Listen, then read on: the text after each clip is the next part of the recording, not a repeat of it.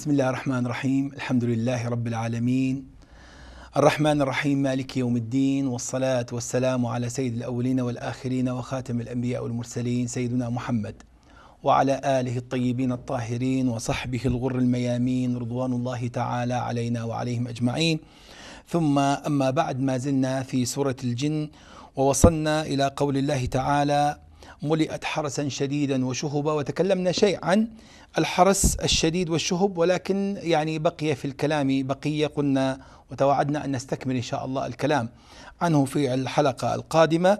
وها نحن إن شاء الله نكمل ما آه، تركناه أو ما أبقيناه لضيق الوقت. آه، في قول الله تعالى حرسا شديدا وشهبا أولا الحرس هنا حرس آه، لفظ مفرد ومعناه جمع. أي المراد بها الحراس مثل خدم وخدام كما يذكر الزمخشري. وكما يقول الشربيني يقول وإن كان لفظه لفظ المفرد ولكن معناه معنى الجمع. ولذلك جاءت شديدا. ولذلك نلاحظ أنه مثلا الله سبحانه وتعالى قال عليها ملائكة غلاظ شداد. لكن هنا قال آه، شديد شديدا. وهنا قال شداد. وقالوا بيننا فوقكم سبعا شدادا. أيضا ما قال شديدة. وأيضا هناك يعني مثلا في سورة يوسف قال تزرعون آه، ثم يأتي سبع شداد يأكلن ما قدمتم. سبع شداد جاءت أيضا شداد.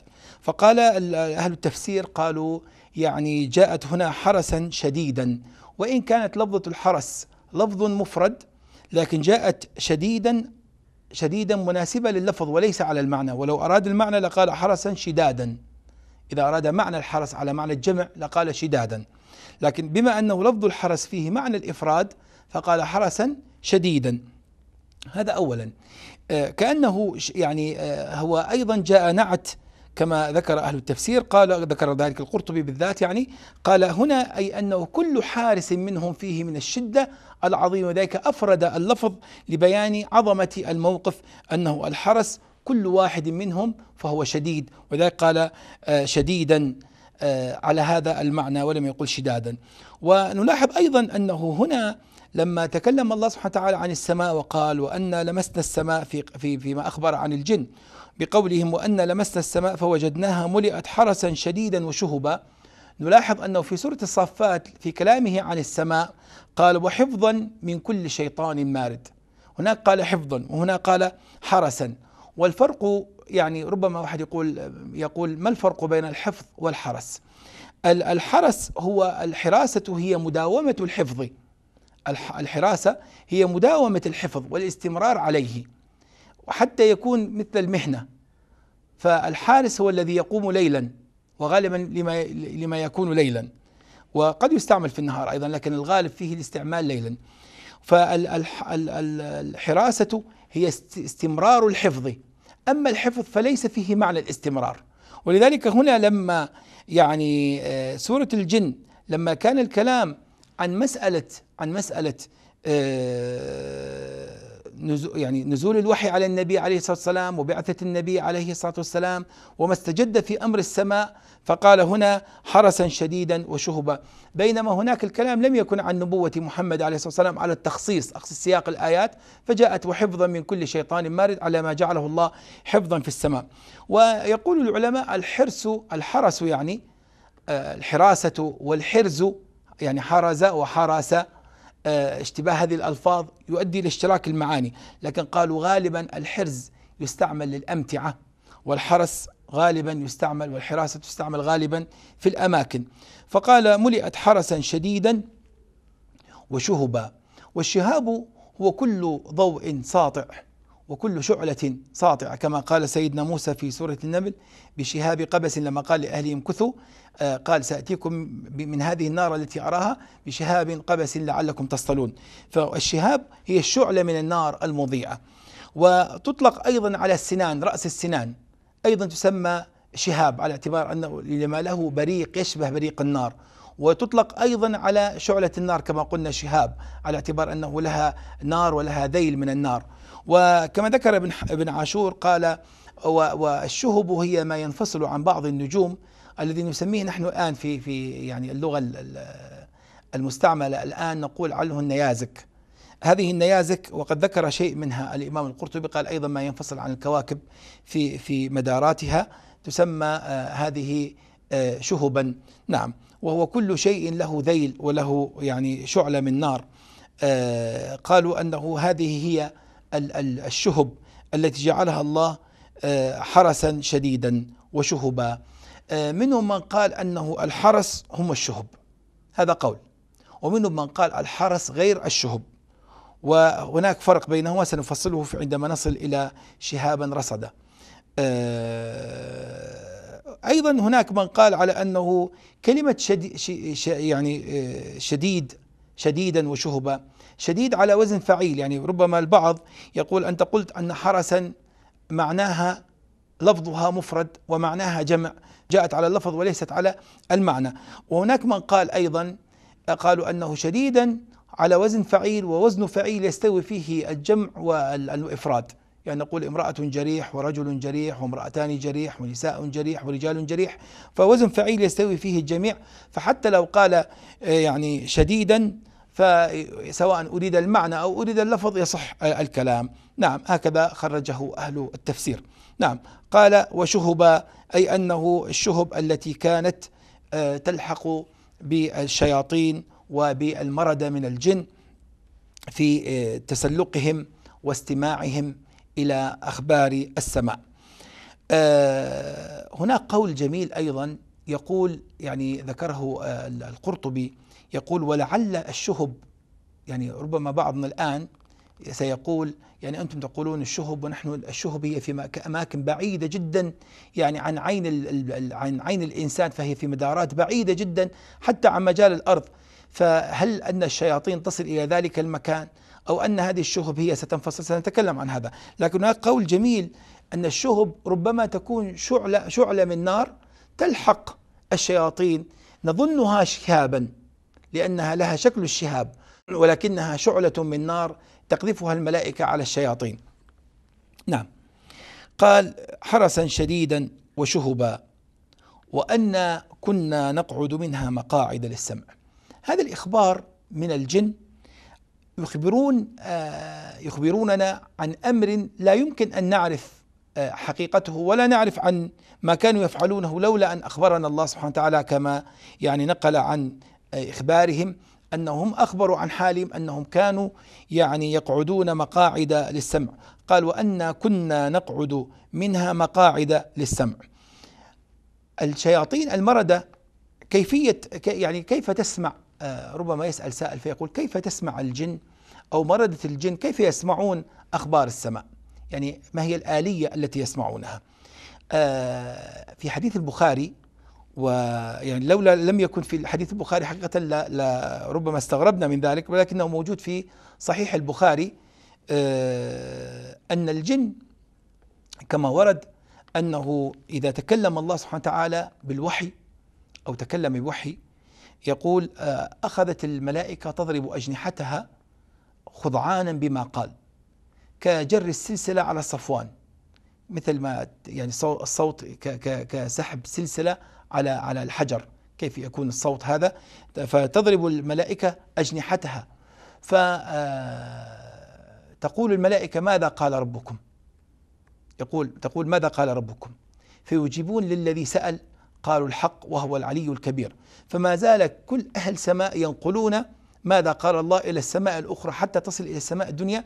ثم آه ذكر سفيان آه في شرحه الحديث قال فكانوا يصطفون هكذا وفتح أصابع يده اليمنى أي أنه يركب بعضهم بعضا. وهي ذكرها الآلوسي وذكرها الإمام آه الخازن في تفسيره من قبل الآلوسي. قال هكذا يركب بعضهم فوق بعض حتى يسترقون السمع ثم يأتي الشهاب فينقل أحدهم النقلة إلى الأخرى في الخبر هل يموتون أم يبقون؟ هذا سنتكلم عنه إن شاء الله في تفصيل آخر. نعم آه، فينقل الخبر آه، أو ينقلون الخبر بينهم.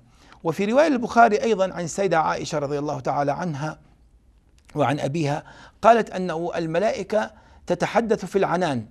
أن النبي عليه الصلاة والسلام أخبر أن الملائكة تتحدث في السماء في الغيوم. هذه يعني حالة أقرب من الحالة الأولى. الحالة الأولى مكانات عميقة في السماء. أما الحالة الثانية لا تتحدث الملائكة في الغمام بما أخبر الله فتسترق المرض من الجن والشياطين يسترقون السمع في في تلك الأماكن فيوقرونها في أذن الكاهن كما يوقر السقاء يعني يجعلوه في أذنه كما يغلق السقاء آه، في في المغلق له. قال فيجعلونها في أذنه. الجميل أن ابن تيمية رحمه الله قال قولا جميلا يحدث في المجموع في الفتاوى قال أنه كيف يعني الكاهن آه، يرى الأشياء ويخبر من الجن بالأشياء. آه طيب ابن تيمية ما قال على قضية التلفزيون ولا على قضية الشاشات ولكنه قال كلاما يفهم منه هذا. نحن لا نس يعني لا ننكر أن الجن لهم قدرات عظيمة ولهم خبرات حتى في البناء وفي أشياء كثيرة وهذا ما صرح به القرآن. يعملون له تماثيل وجفان كالجواب وقدور راسيات وبناء وغواص. إذا هم آه، فيهم الغواصين والبنائين وأصحاب الخبرات الكبيرة. وهم لا شك أنه سبقونا في في الزمن فلا شك أنه التراكم العلمي ربما يكون عندهم بشيء آخر أو ربما يكون متطورا عنا. آه، يخبر ابن تيمية بالنص يقول أخبرني بعض من كان يتعامل مع الجن فقال كان الجن يرو يعني يجعلوني أرى الأشياء كالزجاج على الماء. يعني شاشة مثل الزجاج وتحته ماء يقول فأرى الصور والأشياء أمامي. وهذا تقريبا وصف قريب من وصف التلفاز أو وصف الأجهزة الحديثة التي يعني آه، نحن الآن بصددها والكلام عن عن ابن تيمية. رحمه الله يقول فأسمع الخبر منهم ثم أكلمهم فيصل أو تصل يصل كلامي إلى المستغيث بي الكلام عن هذا الشيخ الذي يحدث ابن تيمية رحمه الله، لذلك لا نستغرب أن تكون الجن يعني لهم قدرات خارقة ولهم أشياء كثيرة وهذا يعني شاهد ما ذكره ابن تيمية في قضية أنه ربما يكون التطور قد وصل له عندهم في أشياء كثيرة. آلية إصابة الشياطين والمرض من الجن في ال ال يعني الشهب التي تصيبهم هذا سنتكلم عنه إن شاء الله. نعم لكن يفهم من هذا أنه في السماء هناك مقاعد. والقعود هو أن يكون نصفك الأعلى قائما وتجلس على نصفك الأسفل. وفيه معنى الملازمة لأن القعود يختلف عن الجلوس. ففي معنى الملازمة والبقاء مدة طويلة أي أنه ربما كانوا يجلسون في تلك المقاعد مدة طويلة ينتظرون استراقه السمع لأنه قعد غير جلسه القعود فيه معنى الإطالة والجلوس فيه معنى القصر. والدليل على هذا نقول فلان جليس الملك ولا نقول قعيد الملك لأنه يجلس عند الملك فترة قصيرة ثم يخرج فنقول جليس الملك ولا نقول قعيد الملك. كذلك القعود لما كان عن عن عن قيام. والجلوس لما كان عن عن اتكاء. قال كان متكئا فجلس في حديث النبي عليه الصلاة والسلام. آه، قال ألا وقول الزور ألا وشهادة الزور. نعم. فهناك فرق بين القعود والجلوس كثير لكن الشاهد هنا آه، في في هذا الأمر أن أنه قالوا وأن كنا نقعد منها مقاعد للسمع. نقعد منها مقاعد للسمع أي أنهم كانوا يطيلون المكث في ذلك المكان مدة طويلة ومنها مقاعد أي كأن هناك أماكن مخصصة. بحثت في التفاسير فوجدت قول عند الإمام ابن الجوزي آه، ينقله عن عطية. يقول بروج السماء بروج السماء هي أماكن وجود الحرس. أماكن وجود الحرس من الملائكة الذين يترصدون يترصدون من يستمع من يستمع آه، من الجن والمرد من الشياطين. آه، لذلك يعني مقاعد السمع هنا يبدو أن هناك أماكن مخصصة كانوا يجلسون فيها ويطيلون فيها الجلوس. آلية السماء وكيفية السماء؟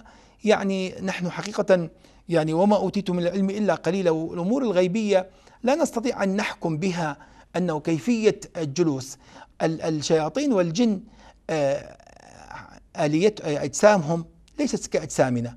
نحن ربما نحتاج إلى إلى يعني أماكن نتكئ عليها ما يكون بالنسبة لنا مجلسا أو مقعدا آه، لكن الجن والشياطين أجسامهم غير أجسامنا.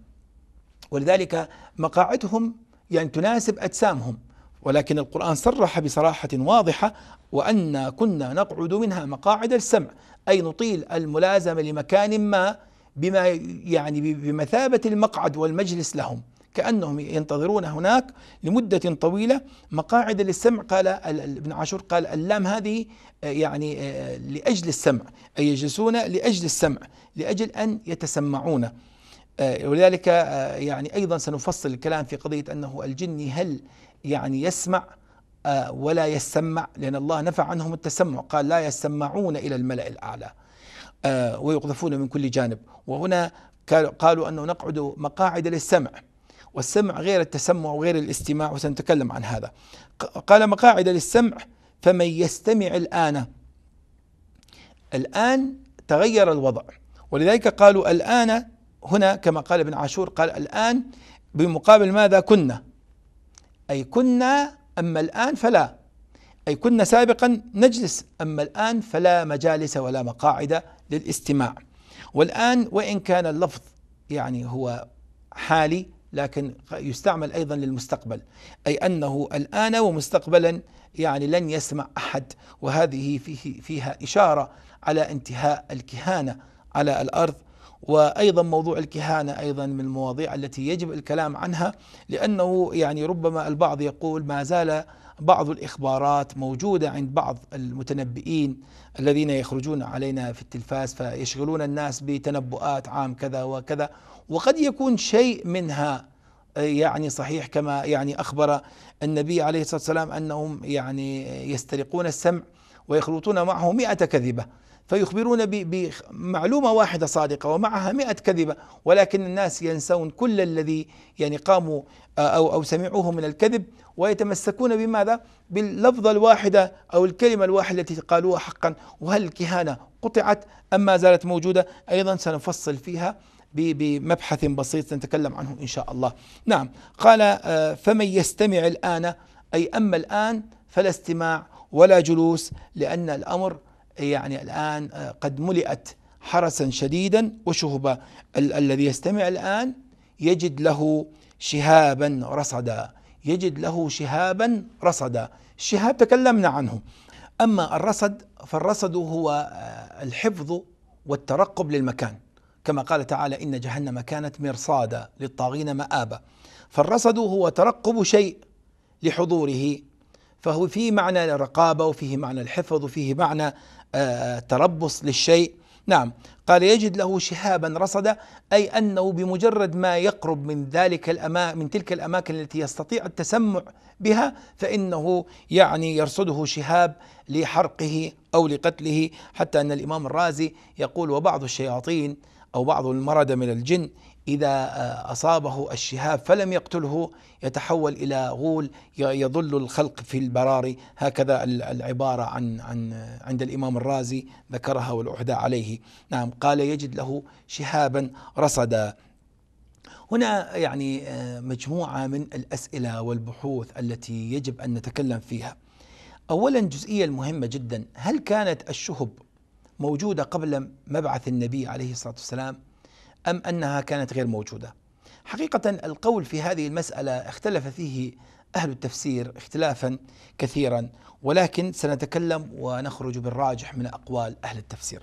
أولا يعني الراجح أن ابن الجوزي وغير ابن الجوزي والجاحظ من قبله وبعض المفسرين قالوا على أنه الشهب هذه ما كانت ولا وجدت إلا بعد مبعث النبي عليه الصلاة والسلام فهي من من آيات الله العظيمة على آه، مكانة النبي عليه الصلاة والسلام ولحفظ القرآن لأنه الأصل أن وجود الشهب هو جاءت لحفظ وعدم خلط الكهانة مع الوحي حتى لا يأتي الكاهن فيخبر الناس بشيء من أخبار الله سبحانه, سبحانه وتعالى فيما يوحيه إلى نبيه محمد صلى الله عليه وسلم. لذلك يعني حتى لما تكلم النبي مع ابن الصياد قال خبأت لك خبيئا. فابن الصياد يعني ما استطاع الشيطان أن يوصل له جميع آه، النبي خبأ له سورة الدخان. فابن الصياد ما استطاع شيطانه أن يقول له ما خبأ له النبي. قال الدخ يعني لم يكمل له الدخان. واضح؟ فقال النبي عليه الصلاة والسلام اخسأ يا لعين لن تعدو قدرك. آه، آه، هنا يعني لاحظ أنه ما استطاعوا أن يسترقوا استراقا كاملا لمسمى السورة وليس فقط ليس لما موجود فيها. مجرد مسمى السورة ما استطاعوا أن يسترقوه استراقا كاملا. لذلك آه، أنه هل الشهب كانت موجودة قبل النبي عليه الصلاة والسلام؟ والبعض قال أنه حتى أن النبي عليه الصلاة والسلام يعني نحن في العراق نقول آه، عن اسم أحمد نقول أبو شهاب بالعامية نقول أبو شهاب. حتى البعض قالوا أنه يعني قرن الشهاب الشهب بمولد أحمد عليه الصلاة والسلام. حتى يعني أصبحت كنية سيدنا محمد عليه الصلاة والسلام كما يعني ذكرها البعض آه، أنه قيل آه، أحمد أبو شهاب على اعتبار الشهب ما كانت إلا بمولده صلى الله عليه وسلم. والكثير مفسرين قالوا إنما كانت الشهب ببعثته صلى الله عليه وسلم وهذا الراجح من أقوال المفسرين أن الشهب كانت ببعثته عليه الصلاة والسلام. والخلاف ما زال على أنه هل قبل بعثته كانت موجودة الشهب أم لا. ويحتجون بعدم يعني الجاحظ يقول لا يوجد في أشعار الجاهلية من تكلموا على سرعة الأشياء بالشهب كما تكلموا عن السرعة بالسيل وغير ذلك والريح كما تكلمت الشعراء. نعم والرد على هذا والحقيقة أن الشهب كانت موجودة قبل النبي عليه الصلاة والسلام ولكنها لم تكن موجهة موجهة للشياطين والمردة فهي شهب يعني من جعلها الله من سنن خلقه في وجود النجوم والكواكب ولكن لم تكن آه، لقضية يعني قذف الشياطين.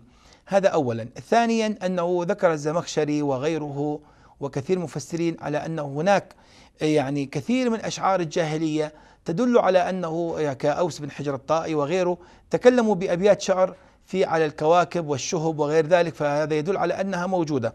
أضف إلى هذا وقبل كل شيء حديث النبي عليه الصلاة والسلام أنه النبي عليه الصلاة والسلام كان جالسا حديث في في مسلم النبي عليه الصلاة والسلام كان جالسا فقال وموجود في الترمذي أيضا آه، كان جالسا عليه الصلاة والسلام فرأى شهابا في السماء قال ما كنتم تقولون عن هذا؟ أي أنه هذا كان موجود في الجاهلية في الجاهلية.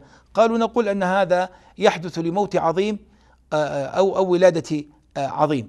فقال إن هذه النجوم لا توجد أو إن هذا الأمر لا يكون لموت أحد أو لحياته. إنما إذا تكلم الله بالوحي والحديث معروف أنه يعني يتكلم بالوحي فتسترق الشياطين فيقذف الله سبحانه وتعالى آه، عليها بالشهب. كذلك آه، يعني آه، أصل المسألة قيل أنه كما يذكر ذلك القرطبي وابن كثير والطبري أنه يعني الشهب هذه لما كثرت إنما كثرت بمبعث النبي ووجهت إلى الشياطين. ولذلك الراجح من الأقوال أن الشهب وجدت آه، كانت موجودة في السابق قبل النبي عليه الصلاة والسلام إنما زيدت لأنه الإمام الرازي ماذا قال؟ قال في قولها ملئت حرسا شديدا وشهبا على أنها كان فيها موجود حرس وشهب ولكنها غير مملوءة.